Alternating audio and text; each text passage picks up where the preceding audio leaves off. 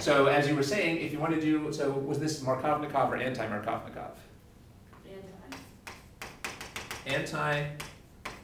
Anti-Markovnikov, the electronegative element ended up on the less substituted carbon. Why did it end up being anti-Markovnikov?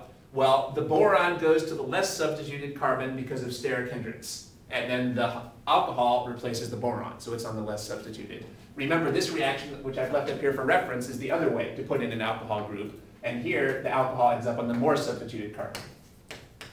Markovnikov. So this is a syn anti-Markovnikov addition, whereas this one up here is a Markovnikov. So you want to have these reactions in pairs so you can compare them in your notes.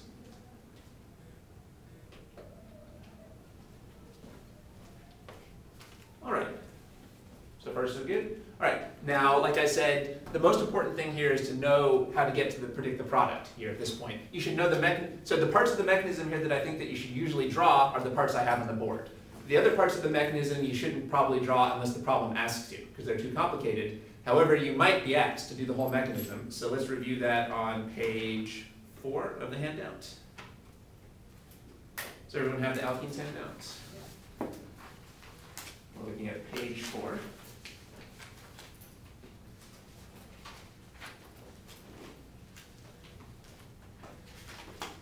And this goes through a couple of points that we didn't talk about yet.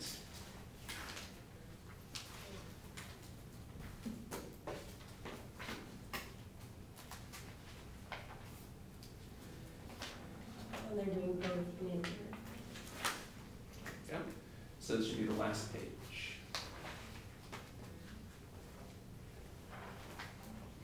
That's the one. Yeah. Page four. All right, so at the top, they summarize the reaction, and then in the middle, we show the mechanism, the hydrogen and the boron attacking at the same time. Now, the first note that the handout made that we didn't talk about here is if there's not too much steric hindrance, this boron will actually go on to attack two more alkenes before we get to the second step over here. So notice what happened in the first step is that the boron lost one of its hydrogens while it attacked an alkene, but it still has two hydrogens left. So theoretically, this boron could go on to attack two more alkenes with its other two hydrogens. And so ultimately, if there's not too much steric hindrance, you would actually end up with one molecule of boron attacking three separate alkenes.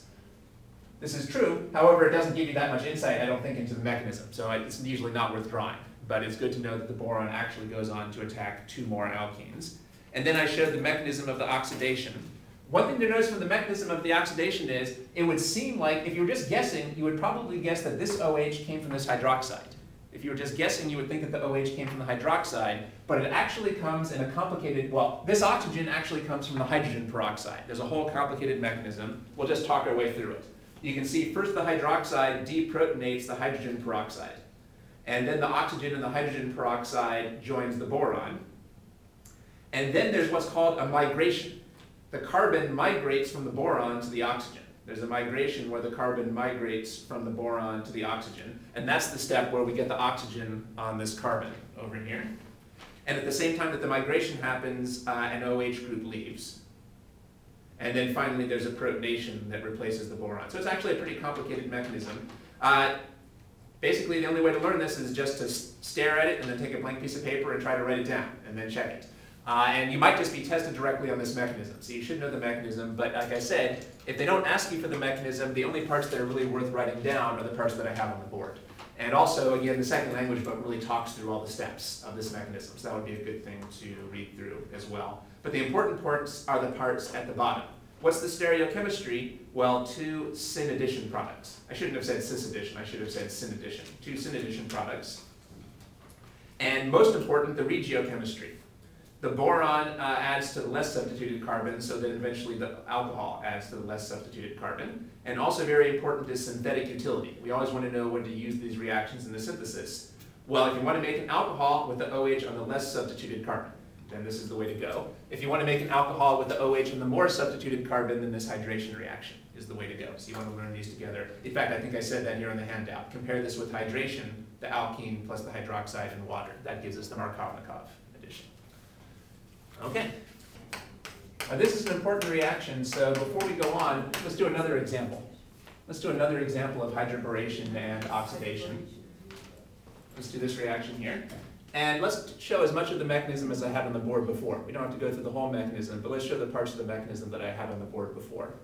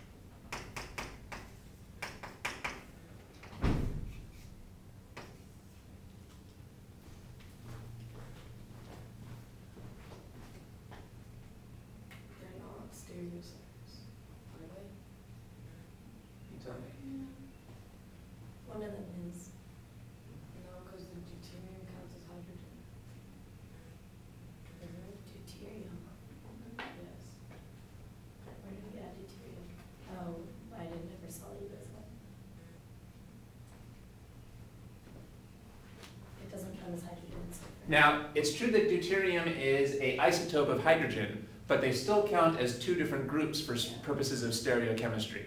Although deuterium has similar reactivity to hydrogen, they definitely count as two different groups for purposes of stereochemistry. In fact, the whole reason why it's useful to put in the deuterium is to get stereocenters without adding more steric hindrance. This is a good way to make problems if you want to make a stereocenter without more steric hindrance. Actually, now that I think about it, I didn't even need the deuterium here though, uh, because this would have been a stereocenter even with hydrogen. I've made this more complicated than it had to be. But anyway, if there is a deuterium, you have to show that. Deuteriums are not like hidden hydrogens. You have to show the deuteriums if they're there.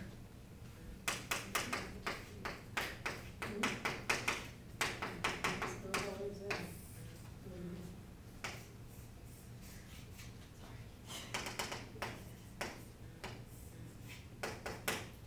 But that one with the methyl is in the stereo center. Well, let's think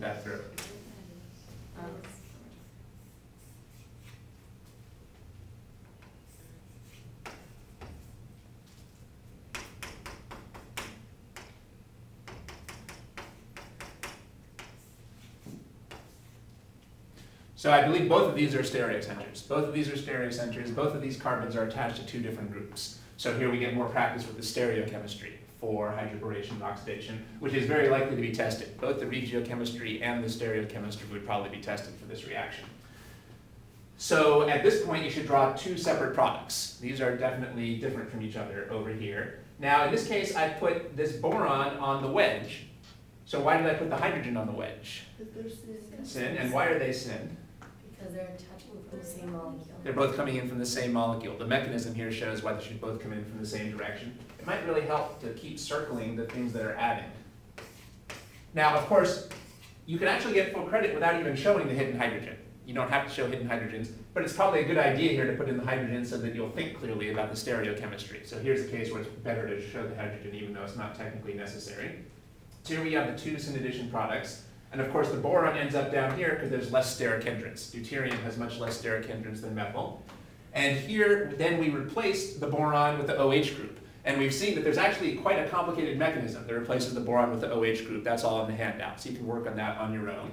But here I just replaced the boron with the OH group. And now notice that up here, the boron was on a wedge, and here the OH is also on a wedge. Why? Because we've simply memorized that this happens with retention of configuration. We've just memorized that this step is retention of configuration. So wherever the boron was, that's where the OH should be.